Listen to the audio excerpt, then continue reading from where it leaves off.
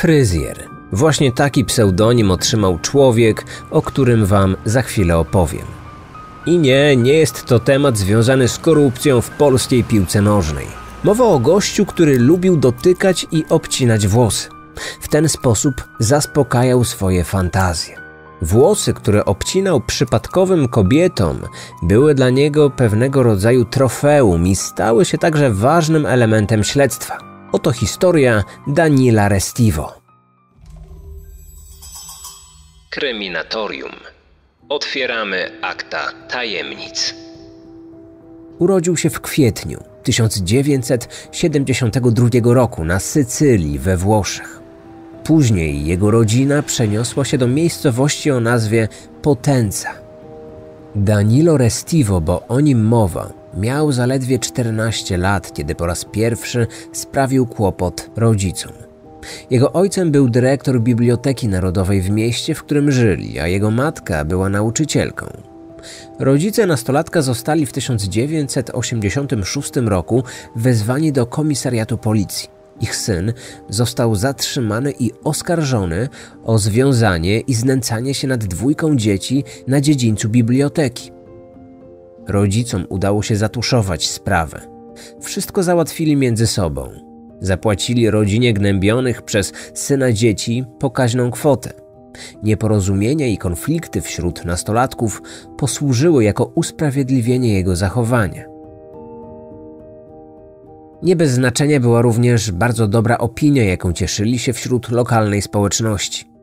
To zdarzenie, zbagatelizowane przez rodziców, było jednak pierwszym sygnałem, że ich syn przejawia skłonności, które nie należały do zachowania, które mieszczą się w kategoriach uznawanych za dopuszczalne, nawet w okresie dojrzewania i buntu nastolatków.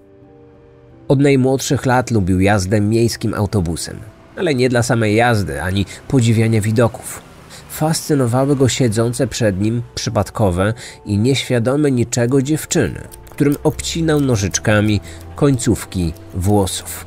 Kolekcjonował je jako pamiątki. Uwielbiał obcinać włosy. Nie, nie w tradycyjnym tego słowa znaczeniu. Podniecało go to.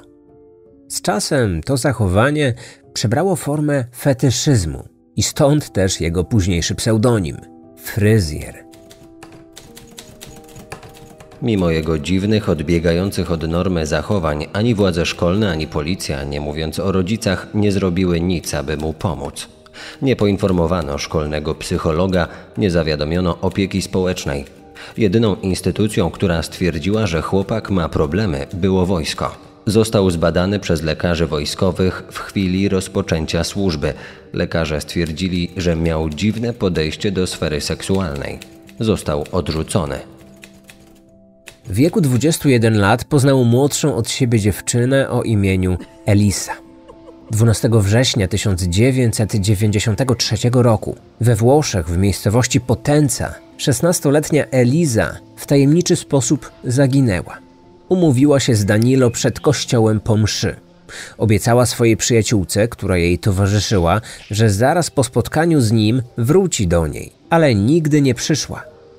Policja szybko dotarła do chłopaka, który był widziany w towarzystwie zaginionej.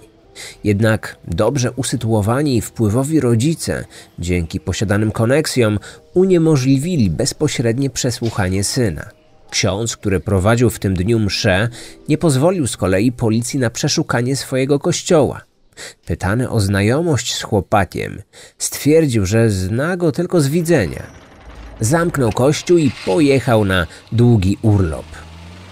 Prowadzący śledztwo podejrzewali, że chłopak jest odpowiedzialny za zaginięcie dziewczyny, ale byli bezsilni. Nie mogliśmy przesłuchać ani podejrzanego, ani księdza, który w dniu zaginięcia prowadził mszę. Jego kościół był zamknięty, więc nie mieliśmy możliwości, aby do niego zajrzeć. Nie znaleźliśmy też ciała zaginionej. Tak naprawdę nie dysponowaliśmy nawet dowodami, że doszło do morderstwa. Pozostało tylko jedynie uznać, że ona po prostu zaginęła. A to nie oznaczało przecież, że przytrafiło się jej coś złego. Kluczową rolę w tej sprawie odegrał ksiądz. Postać dosyć enigmatyczna i wpływowa. Aż do śmierci w 2008 roku należał do miejscowej elity, znajdował się w samym centrum lokalnej władzy. To właśnie on wszystko utrudniał. Odmawiał wstępu policji do swojej świątyni, a zarządzany przez niego kościół był jedynym w mieście, który nie bił w dzwony dla zaginionej szesnastolatki w dekadę rocznicy jej zaginięcia. Do jego wpływowych przyjaciół należeli działacze z lokalnej i krajowej polityki, w tym i byłego włoskiego premiera. Według ustaleń prywatnego detektywa badającego zaginięcie dziewczyny, ksiądz był homoseksualistą i utrzymywał relacje z niektórymi przedstawicielami miejscowej elity. Policja nie dawała jednak za wygraną i kontynuowała śledztwo. Trzy lata po zaginięciu śledczy udowodnili, że chłopak kłamał, mówiąc, że nie znał zaginionej. Za składanie fałszywych zeznań został skazany na karę 20 miesięcy pozbawienia wolności. I tutaj znowu mamy do czynienia z zastanawiającym faktem. Mimo wyroku nie został umieszczony w zakładzie karnym, a co więcej, mógł się swobodnie przemieszczać. Rodzina zaginionej kontynuowała poszukiwania we własnym zakresie. W tym czasie Danilo opuścił Włochy i przeniósł się do Wielkiej Brytanii. W 2002 roku ożenił się z kobietą poznaną przez internet. Wspólnie zamieszkali w domu położonym naprzeciwko tego, w którym mieszkała 48-letnia krawcowa, samotna matka dwójki dzieci. Pewnego dnia Danilo zjawił się u niej, prosząc o uszycie zasłon do jego salonu. Wkrótce po tej wizycie kobieta zorientowała się, że zaginął zapasowy zestaw kluczy do jej mieszkania. Kobieta wymieniła zamki. Była pewna, że klucze zwyczajnie zgubiła. 12 listopada 2002 roku odprowadziła dzieci do szkoły. Kiedy te wróciły z zajęć, od razu miały przeczucie, że w domu coś się wydarzyło.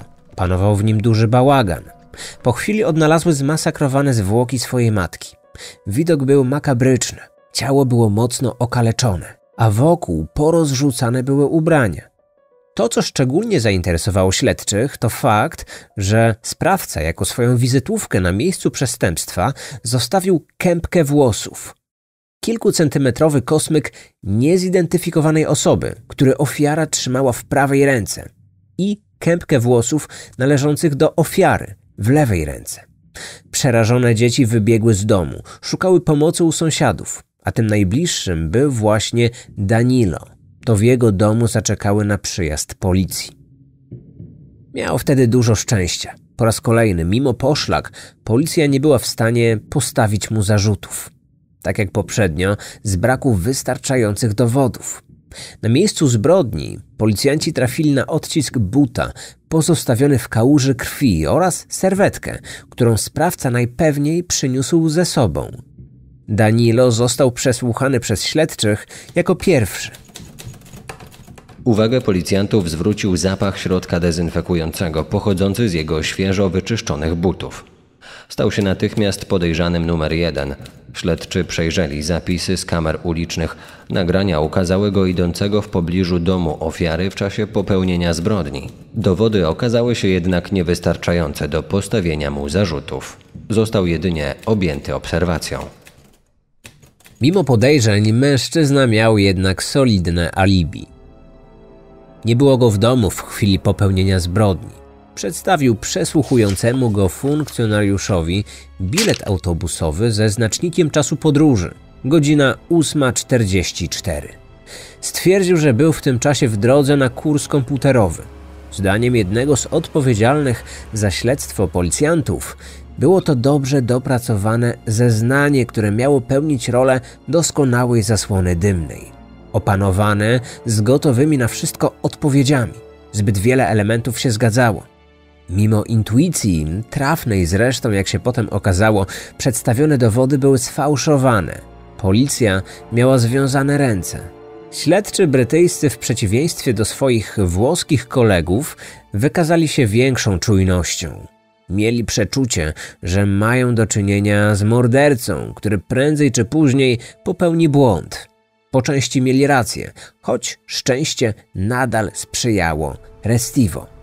W trakcie obserwacji ustalono, że ten mężczyzna lubił spacerować na obrzeżach miasta i obserwować samotne kobiety. Ubierał się i zachowywał się przy tym dosyć dziwnie. 12 maja 2004 roku został aresztowany. Znaleziono przy nim noże i kominiarkę. Oskarżono go o śledzenie kobiet z zamiarem dokonania zbrodni. Podczas przesłuchania wszystkiemu zaprzeczył.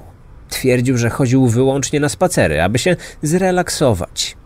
Obciążającym go faktem były jednak wyniki badań laboratoryjnych. Znaleziona na miejscu zbrodni serwetka była jego własnością. I tak jak poprzednio, były to niewystarczające, w opinii prokuratury, dowody. Miał dużo szczęścia, my nie mogliśmy mu udowodnić udziału w zbrodniach. Jak to w życiu bywa, o wszystkim zadecydował przypadek. Niedostępny dotychczas dla włoskich śledczych kościół, w którym widziano go po raz ostatni w towarzystwie zaginionej szesnastolatki, odkrył swoją tajemnicę, skrywaną przez te wszystkie lata. W marcu 2010 roku rozpoczął się remont kościoła. Robotnicy naprawiający dach dokonali makabrycznego odkrycia. W wieży kościoła trafili na zmumifikowane ciało. Badania wykazały, że należało do zaginionej przed laty dziewczyny, tej samej, którą widziano z Danilo. Dodatkowo znaleziono wspólne zdjęcia księdza i podejrzanego, zrobione na przyjęciu z okazji jego 18 urodzin. Fotografie stanowiły dowód na to, że obaj dobrze się znali, mimo zaprzeczeń duchownego. W wyniku śledztwa ustalono, że ksiądz pomógł ukryć zwłoki. Choć policja nie dysponowała wystarczającymi dowodami na poparcie tej tezy, podejrzewano, że oprócz księdza w ukryciu zwłok pomagali także inni członkowie kościoła. Zrobili to zapewne w celu ukrycia prawdy, chcąc chronić dobre imię kościoła. Lokalna społeczność była hermetyczna i dbała o swoją prywatność. Należeli do nich, według przypuszczeń śledczych, przedstawiciele lokalnego establishmentu, w którym rodzina chłopaka cieszyła się dużymi wpływami i uznaniem. Specjalistyczne badania laboratoryjne wykazały, że sprawca zadał dziewczynie 10 ciosów nożem w plecy. Walczyła o życie z napastnikiem. Po tak długim czasie niewiele pozostało z jej ciała. Zabezpieczono jedynie miednicę, klatkę piersiową, dwa buty, sweter i głowę z kilkoma zębami oraz idealnie złożone okulary. I kosmyk włosów. Na pogrzebie dziewczyny obecnych było ponad 10 tysięcy osób. 17 lat po zabójstwie została pochowana na cmentarzu kościoła, w którym straciła życie. Po 17 latach zaznała godnego pochówku. To był przełom w dotychczasowym śledztwie. To, co do tej pory było niemożliwe do udowodnienia, stało się podstawą oskarżenia. Powiązano ze sobą dwa morderstwa to we Włoszech i to w Wielkiej Brytanii.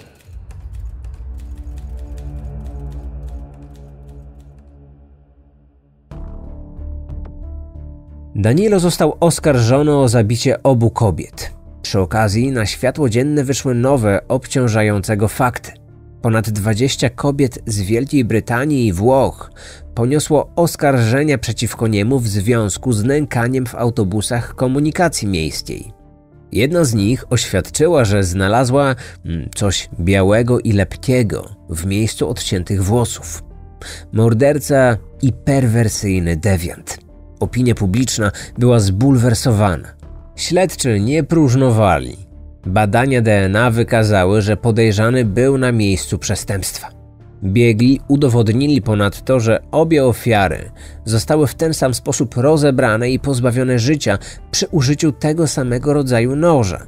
Każda ze zbrodni została popełniona 12 dnia miesiąca. Każdej z ofiar zabójca włożył do dłoni kosmyk włosów.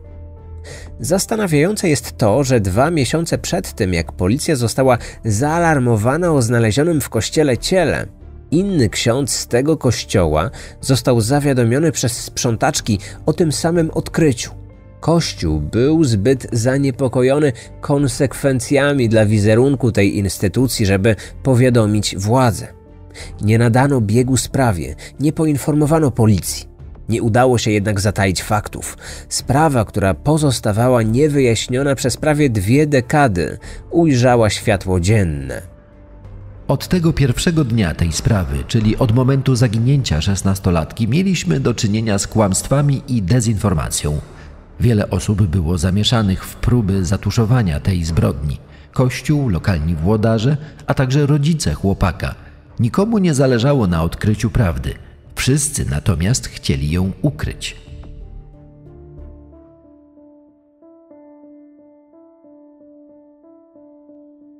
Rodzina dziewczyny i wynajęty przez nią prywatny detektyw byli przekonani, że doszło do celowego zacierania śladów. Ich podejrzenia budził fakt, że całe śledztwo w sprawie nastolatki zostało odebrane lokalnej policji i przeniesione do odległego 120 km Salerno. Przypadek? Komuś niewątpliwie zależało, aby śledztwo znalazło się w ślepym zaułku. Prawda zburzyłaby spokój lokalnej społeczności i stawiała w złym świetle Kościół. Dodatkowo budziła negatywne emocje. Dla wszystkich zainteresowanych byłoby lepiej, gdyby nie wyszła na jaw. Człowiek, który w rzeczywistości był tak dysfunkcyjny społecznie, niewykształcony i prosty, okazał się świadomym, sprytnym przestępcą zdolnym do planowania dokonywania morderstw bez pozostawiania na miejscu zbrodni obciążających dowodów. W trakcie przesłuchania twierdził, że to powody medyczne wpłynęły na jego pamięć o wydarzeniach, które miały miejsce. Dosyć sympatyczny, bardzo przebiegły, precyzyjny w swoich odpowiedziach. Był przygotowany, miał odpowiedź na wszystkie pytania policji. Buty wybielał, aby pozbyć się z nich brudu. W 2008 roku detektywom pomogła nowa technika, dzięki której udało się zidentyfikować krew na jego butach. Pomimo wysiłków, jakie sprawca włożył w pozbycie się tych dowodów.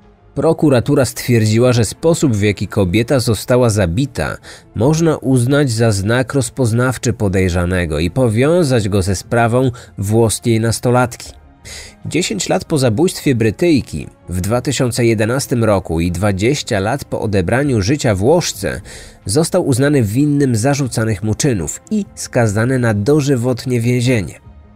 Emerytowany inspektor policji, który pracował przy śledztwie, twierdził, że była to jedna z najbardziej traumatycznych zbrodni, w które był zaangażowany.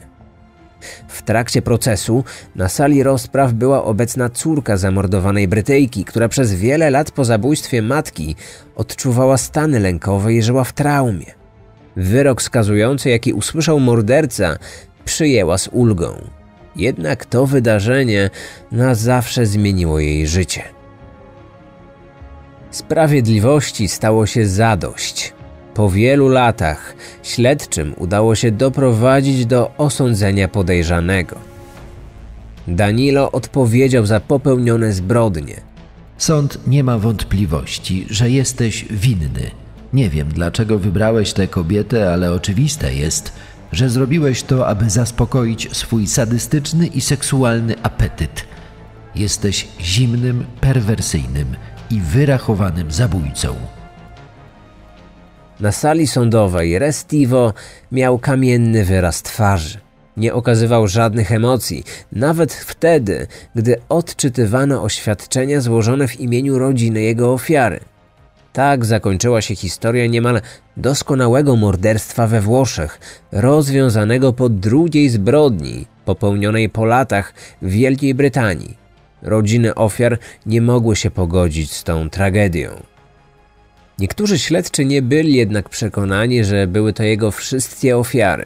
Zaczęły się pojawiać wątpliwości. Powrócono do sprawy zabójstwa koreańskiej studentki z lipca 2021 roku. Mimo, że za sprawcę uznano zupełnie innego mężczyznę, to śledczy wysnuli tezę, że prawdziwym sprawcą mógł być właśnie Danilo, Narzędzie i sposób, w jaki zamordowano studentkę, została ona kilkukrotnie ugodzona nożem, odpowiadały tym stosowanym przez niego. Dodatkowo obciążającym faktem było to, że mieszkał w pobliżu ofiary, zaledwie trzy ulice dalej. Po raz kolejny w sprawie mogło dojść do zaniedbania ze strony policji. Za wiarygodne uznano oskarżenia prostytutki i narkomanki, skazanej w przeszłości za składanie fałszywych zeznań. Wskazała sprawcę mającego na swoim koncie ponad 60 wyroków. Miał on zgwałcić i zamordować Koreankę z zemsty za odrzucenie jego zalotów. To wystarczyło do wysunięcia przeciwko niemu zarzutów i posadzenia na ławie oskarżonych. Takie rozwiązanie odpowiadało wszystkim. Opinia publiczna była usatysfakcjonowana, a policja mogła odnotować sukces. W rzeczywistości przebieg wydarzeń był zupełnie inny. Tak przynajmniej podejrzewali śledczy, którzy doprowadzili do skazania Danilo. To właśnie oni postanowili ponownie przyjrzeć się okolicznościom zabójstwa Koreanki i uznali, że prawdopodobnie to właśnie on był jej prawdziwym mordercą. Detektywi przedstawili hipotezę, że przypadkowo spotkał na swojej drodze wracającą nad ranem ze spotkania ze znajomymi dziewczynę. Wtedy ją zamordował. Świadkowie, którzy wystąpili w procesie domniemanego sprawcy, wskazanego przez prostytutkę, w większości byli narkomanami, którzy później zmienili zdanie i tłumaczyli, że to policja zmusiła ich do przedstawienia takiej wersji wydarzeń. To tylko utwierdziło śledczych w przekonaniu, że ich teoria związana z Danilo jest słuszna. Obrońcy oskarżonego wskazanego policji przez prostytutkę i narkomankę utrzymywali, że główny świadek oskarżenia w sprawie był niewiarygodny. Mimo tego zapadł wyrok skazujący. Wielu specjalistów zajmujących się tą sprawą było zdania, że koreańska studentka nie była jedyną nieprzypisaną mu ofiarą. Przypuszczali, że mógł popełnić więcej zbrodni w latach 1993-2002. Dopatrywali się jego udziału w serii wyjątkowo okrutnych morderstw w zarówno południowej Francji, jak i w Hiszpanii. We wrześniu 1997 roku została zamordowana młoda Francuska, ugodzona nożem. Sprawca okaleczył ciało w podobny sposób, jak wcześniej zrobił to Danilo. Rok później została brutalnie okaleczona kobieta narodowości hiszpańskiej. W 1999 roku miał miejsce podobny przypadek. Na Majorce została zamordowana Brytyjka. Sprawca także w brutalny sposób okaleczył jej ciało. Zdjęcie zaginionej w 2003 roku południowo-koreańskiej dziewczyny, której ciała nigdy nie odnaleziono, zostało odkryte na komputerze Danilo. Ale nie był to dowód na jego winę.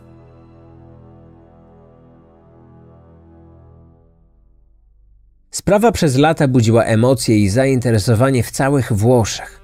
To jedna z największych tamtejszych tajemnic. Nie tylko media tak uważają. Wielu domorosłych detektywów starało się ją rozwiązać. Pojawiało się wiele nowych teorii na temat tego, co tak naprawdę mogło się wydarzyć, wzajemnie się wykluczających. Niewątpliwie o przebiegu śledztwa, przynajmniej w jego początkowym okresie, gdy prawda mogła ujrzeć światło dzienne, zdecydowały lokalne układy. Układy oparte na powiązaniach lokalnego establishmentu ze światem polityki zarówno tej w wymiarze regionalnym, jak i krajowym. Pozycja rodziców podejrzanego, jej wpływy, układy z przedstawicielami kościoła i koneksje tych ostatnich z przedstawicielami świata polityki. Należy do tego dodać wpływy, jakie ważni przedstawiciele lokalnej społeczności posiadali w policji. Wszystko to razem miało taki, a nie inny wpływ na przebieg śledztwa. Zabójstwo szesnastolatki mogło być wyjaśnione w ciągu kilku dni. Podejrzanego widziano z dziewczyną w dniu jej zaginięcia. Byli świadkowie. Wystarczyło, aby funkcjonariusze policji przesłuchali podejrzanego. Przeszukali miejsce domniemanego morderstwa, czyli kościół. Tak się jednak nie stało. Sprawa utknęła na lata w ślepym zaułku. Brak dowodów i kolejna niezrozumiała rzecz – Mimo oskarżeń o składanie fałszywych zeznań, Danilo mógł się swobodnie przemieszczać, bez konieczności meldowania się na policji. Był pozostawiony sam sobie. Można sądzić z dużym prawdopodobieństwem, że gdyby nie remont kościoła, to sprawa zaginięcia włoskiej szesnastolatki nigdy nie zostałaby wyjaśniona, a dokonane przez niego zabójstwo na terenie Wielkiej Brytanii zapewne nigdy nie byłoby powiązane z tym we Włoszech. Ta sprawa była niczym film sensacyjny. Okrutne morderstwo, oczywisty podejrzany i śledztwo, które z braku ewidentnych dowodów nie przestaje się przeciągać. Wszystko było przeciwko policji, która szukała upragnionego dowodu pozwalającego im aresztować sprawcę. Intuicje i poszlaki nie wystarczały. Wiedzieć, że był winny to za mało, należało mu to jeszcze udowodnić. Danilo czerpał przyjemność z obcinania kobietom włosów. To był jego znak firmowy. Fetysz określany terminem trichofilia. Pobudzenie seksualne osiągane przez ludzkie włosy. Ilu dokładnie kobietom odciął końcówki włosów w trakcie jazdy autobusem? Tego nigdy dokładnie nie ustalono. Po nagłośnieniu tej sprawy przez media, na policję w Wielkiej Brytanii i we Włoszech zgłosiło się kilkanaście kobiet. Twierdziły, że w okresie popełnienia zbrodni, tak w 1993 roku, jak i w 2002, padły ofiarą jego dewiacji. Jadąc autobusem do pracy, jedna z nich zauważyła pasażera pochylonego w kierunku siedzącej przed nim kobiety. Nożyczkami obcinał kosmyk jej włosów. Gdy zorientował się, że jest obserwowany, szybko wysiadł na najbliższym przystanku. Kobiet, którym obciął w ten sposób włosy, mogło być dużo więcej, ale nie wszystkie jednak chciały się do tego przyznać i zgłosić ten fakt na policji.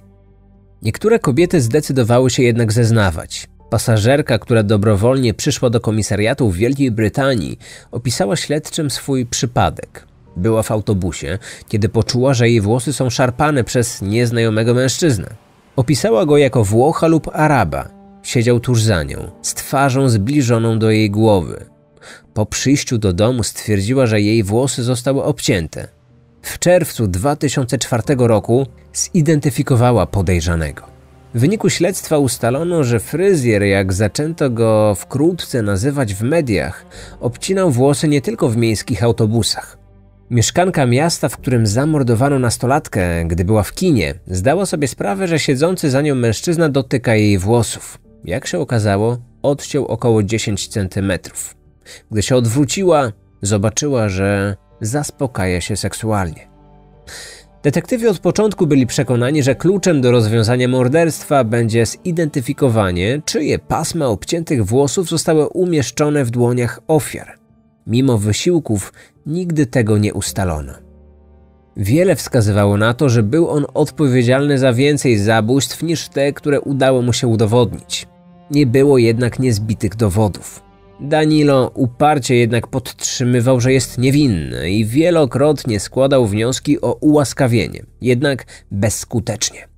W listopadzie 2012 roku sąd apelacyjny zmniejszył jego wyrok z kary dożywotniego pozbawienia wolności do 40 lat więzienia. Oznacza to, że na wolność mógłby wyjść około roku 2052. Będzie miał wtedy 80 lat, a jego rodzina wciąż nie wierzy w jego winę. Kiedy mój syn po raz pierwszy był przesłuchiwany przez policję, stwierdziłem wówczas, że jeśli kłamie, to powinien zapłacić za swój czyn. Jednak po szczerej rozmowie z nim jestem pewien, że nie miał nic wspólnego z tą sprawą. Mój syn nie może kłamać. Odcinek powstał na podstawie reportaży BBC, książek Michaela Litchfielda The Cutter i Tobiasa Jonesa Krew na ołtarzu w poszukiwaniu seryjnego mordercy. Wykorzystano także informacje z francuskich, włoskich i angielskich artykułów prasowych poświęconych sprawie fryzjera z Potence.